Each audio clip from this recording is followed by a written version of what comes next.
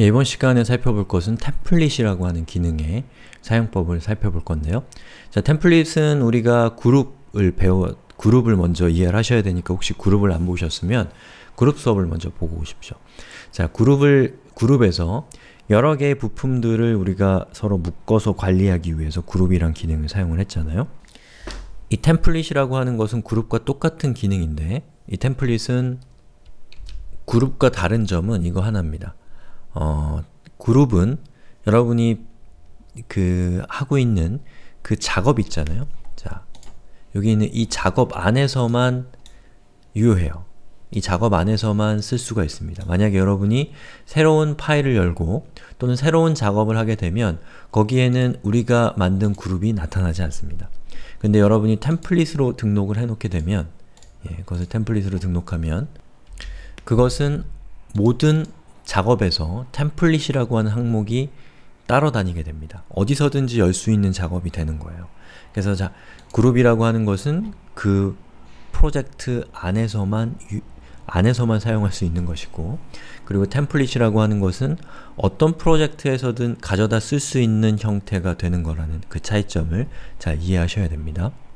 그럼 template은 언제 쓰냐? 여러분이 어떤 작업을 하다 보면은 모든 작업에서 공통적으로 사용되는 그런 기능들이 있을 수가 있습니다. 그런 이 조립된 형태가 있을 수가 있다는 거죠. 예를 들면 지금 Mindstorm을 보고 계신데요. 자, Welcome Screen을 클릭해서 여기에 있는 어, 첫 번째 Mindstorm을 제가 열어보면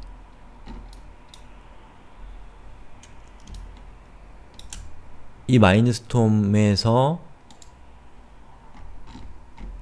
자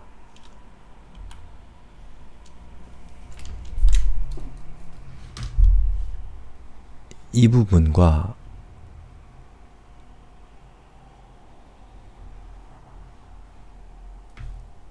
이 부분은 우리가 좀 구분을 할 수가 있습니다. 어떻게 구분할 수 있냐면 자, 제가 이렇게 표시하는 이 부분은 어, 여러 개의 마인드스톰에서 공통적으로 사용되는 부분일 수 있습니다. 그리고 제가 녹색으로 표시한 이 부분은 현재 제가 작업하고 있는 여기서만 필요한 것일 수가 있다는 겁니다. 자, 이것만 봐서는 제가 무슨 얘기를 하는지 모르는데요. 자, 제가 다른 마인드스톰을 한번 열어볼게요. 자, 방금 것과는 다른 형태이지만 다른 형태로 보이긴 하지만 어때요? 제가 붉은색으로 표시한 것과 녹색으로 표시한 부분이 어떤가요? 붉은색으로 표시한 부분은 이전에 우리가 열어봤던 그 것에서도 똑같은 것이 있었습니다. 그런데 녹색으로 표시된 부분은 이전에 있었던 거엔 없었고 지금 우리가 작업하는 것에서만 필요한 겁니다. 그 얘기는 뭐냐면 우리가 여러 가지의 그 마인드스톰 또는 레고를 만들고 있긴 하지만 그 중에 어떤 것은 공통되고 어떤 것은 공통되지 않는다라는 것을 의미합니다. 그래서 그 중에서 공통되는 것들만 여러분들이 계속 재활용할 수 있도록 하면 훨씬 더 빠르게 레고를 만들 수가 있겠죠? 그러면 공통되는 것은 그냥 가져다 쓰고 그리고 공통되지 않는 것만 여러분들이 조금씩 조금씩 바꾸는 걸 통해서 빠르게 원하는 작업을 할 수가 있다라는 것입니다. 바로 그게 이 템플릿 기능이에요. 자 그럼 템플릿 기능을 한번 사용을 해보죠. 요거는 이 그룹 기능과 똑같습니다. 자 일단은 공통적으로 사용되는 부분을 이렇게 선택을 합니다. 뭐 저는 저, 지금 대충 선택을 했어요. 아주 정교하게 선택한 건 아니고요. 그러면 이렇게 선택되어 있는 상태에서 템플릿을 선택하고요. 밑에 있는 Create a Template Prop Selection 이라고 되어 있는 것은 이 선택되어 있는 요 브릭들을 하나의 템플릿으로 만든다 라는 뜻입니다. 자, 클릭해 볼게요. 그러면 이렇게 만들어지죠? 그러면 이 상태에서 제가 요 템플릿을 클릭하면 어떻게 되나요? 예, 방금 제가 템플릿으로 만든 것과 똑같은 것을 이렇게 화면에 바로 추가할 수가 있습니다.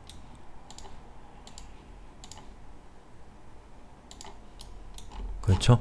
예, 복제가 되는 겁니다.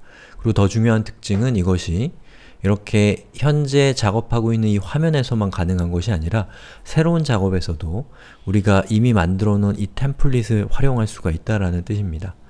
자, 여기서 Welcome Selection을 선택하면 이렇게 생긴 화면이 뜨죠. 그 중에서 현재 우리는 Mindstorm이라고 하는 요 모드에서 어, template을 만들었기 때문에 그 template은 이 Mindstorm 안에서만 사용할 수가 있습니다. 아쉽게도. 자, 이 Mindstorm을 선택하고 어, Free Build라고 되어 있는 요것을 선택하면 새로운 프로젝트를 생성하게 됩니다. 아무것도 없는 상태죠? 그런데 템플릿을 클릭해보면 아까 우리가 만든 템플릿이 여기 있는 것을 볼 수가 있습니다. 그럼 이 상태에서 요것을 클릭하면 보시는 것처럼 공통적으로 사용되는 부분이 화면에 착 하고 들어오죠? 그럼 여러분은 이걸 기반으로 해서 여러분이 만들고 싶은 것을 빠르게 빠르게 만들 수 있게 되는 겁니다.